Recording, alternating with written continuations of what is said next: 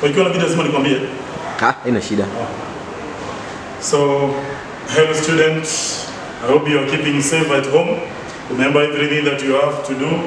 Make sure you sanitize. After you sanitize, make sure you wear your mask. Keep the social distance. And if there is no need of going out, stay home because that's where you're going to be safe. Otherwise, together we shall overcome. Welcome to the our lesson of today, whereby I'm going to continue from where we stopped last time. Remember, we la- last month we were discussing about the longitude and latitude we were through. Then I introduced you to our chapter number eight, which is concerning the area and approximation. And I say there are different ways of approximating the area of a given given object. Remember I told you that you have four techniques. you have the counting technique. We remember? The counting technique number one. Then number two, you have the trapezium rule. From the trapezium rule, you have the mid-ordinate. Those are the three of them. Uh, number three, mid-ordinate. From the mid-ordinate, you have the integration method. So in this topic of ours, we are going to deal with these three of them, because this one I'm going to teach you the next topic when we are going to be teaching about the calculus. So for the time being, we have discussed this on counting, the counting method. Uh, whereby we say this one is used when you determine the area of irregular. We love the regular object, but we say you have to have the irregular object and then you count the number of the full squares Hmm? Then from there, plus the half number uh, of the squares that are not full. So that you can be able to get your, your area. Remember, we said this one is just an approximation. So where that number one is concerning about the object that is having an irregular shape. You make sure that you trace it on a paper of the square of one centimeter, and then from there you count the boxes which are full. Then the other one which are done partially. You also you count them, but you divide them by two. So when you sum them, they're going to give you an approximation area of that irregular object.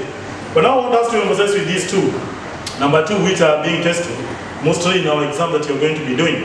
So want to today we focus on number two, which is known as the, the trapezium rule. So the trapezium rule, that is going to be my main target in this topic, uh, in our today's lesson. So what are the objectives that you're supposed to be able to know? So by the end of this topic, I want you to be able to know how to approximate that area of an irregular shape using the trapezium rule. So remember the way we agreed on the trapezium rule before I give you an example. We say that this rule need to be able, don't worry about uh, maybe mastering it, but we say it's just there. In our, in our mathematical table, just remind you, area is equals to a half, we have the h, then you have the first bracket, that is y naught plus yn, then plus what? Plus now 2, y1 plus y2 plus y3, uh-huh, plus yn minus 1, and then you put a bigger bracket there. So that's what we say that these are the length of the trapezium that you're going to be using. Remember in Form 1, we talked about the area, the area of the trapezium. The area of the trapezium being a half h a plus b. Whereby we say these a and b are the length of the trapezium. Then this one is the height. So in our trapezium rule, this is going to be the width of that trapezium, which is going to be considering that the width, which is supposed to be the uniform, supposed to be uniform. Then this one are going to be the first height, the trapezium that you're using, uh, which you're going to be having, then this one is going to be the last one. Then the other height which are in between are the one that you're going to multiply by 2. The first one and the last one are not multiplied by 2, but the others are going to be multiplied by 2. So this formula is there in the mathematical table. So our case is to be able to apply it when we are having a question of that nature. So let me show you the way the question is going to be framed so that you see what you're going to be doing. So that's the question which you're given there. And then you're told that a car is starting from the rest and its velocity is measured every second. For how many seconds? For the six second. So you can see that is the table that is given there. You have the time, then you have now the velocity. So meaning, you need to be able to use the trapezium. So that is the question that the way is using there. So let's see the concept that they're supposed to emphasize on it. So you're told you use the trapezium rule. That is the condition. In an exam, will be specifying out of the four, I'll be telling you what to use. Remember, I tell you if I tell you to use the trapezium and you decide to use the mid-ordinate or decide to use the integration, then you cannot be awarded. So you have to stick to what you have been told. So in this case, you're told to use the trapezium to calculate the distance traveled between time t1 and then when t is equals to is equals to 6. So meaning the t1 is going to be a y naught there because you're not considering from t is equals to 0, but you're considering when the t is 1 up to where t is going to be equal to 6. That is another condition that you're supposed to be able to know. Remember in our table, the time we're learning from 0 up to what? Up to 6. But now we are telling you to calculate the distance traveled between t is equals to 1 and then t is equals to 6. Remember that we said that in the case of the velocity time graph, if you need to be able to calculate the area that is covered by the motor vehicle, you need to be able to calculate the area under the graph. So, my first NB is to be able to emphasize on what you're talking about. The area under the velocity time graph, that's the NB. The area under the velocity time graph represents the distance covered between the given times. So for you to be able to come up with the area under the graph, once you sketch it, you can be able to calculate it.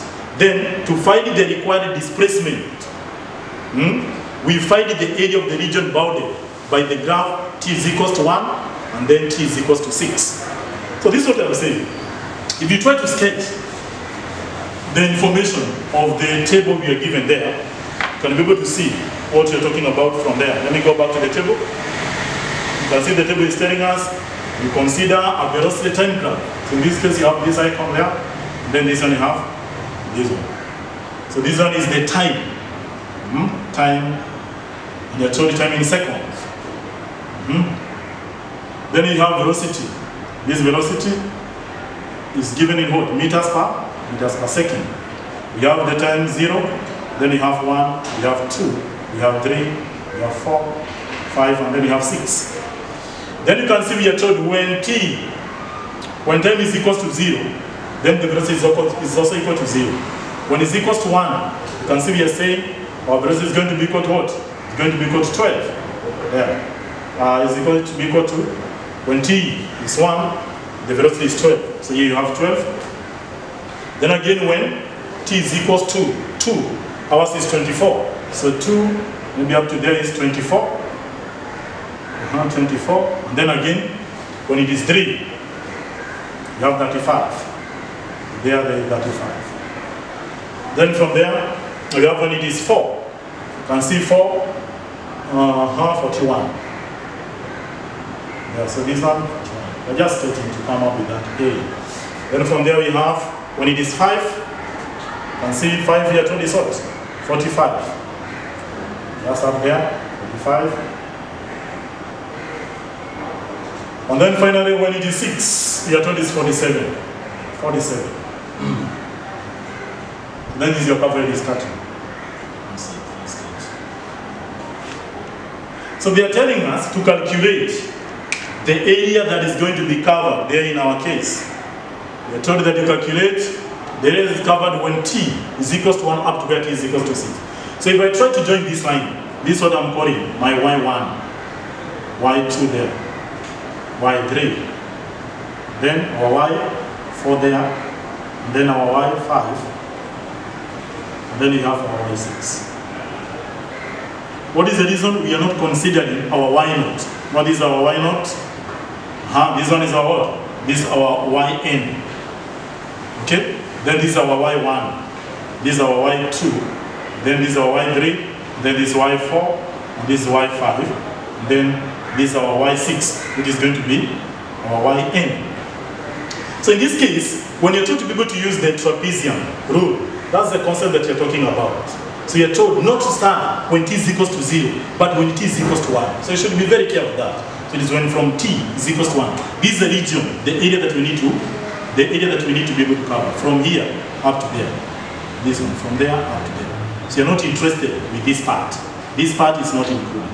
And that is the trick when you come during the exam, you need to be able to know what you're talking about. So that is a sketch there that I've done for you. I don't know that it's clear there in my notes, but you can be able to see it on the board. So, in the case of the solution, you can see what you're talking about in the case of the solution. So, divide the area required into five trapezium. Into five trapezium, each with one unit, using the trapezium rule. So these are the five trapezia we are using, we are calling them. This is number one, this is number two, this is number three, number four, and then that is number five. That's where they are. So then from there you can be able to see, using our formula, our area, and then we are talking about the uniform length. Remember from here, this is our H. This is the width I was talking about. So that is the height, which must be uniform to all of them. It must be uniform. Hope you are getting that idea. That one must be uniform.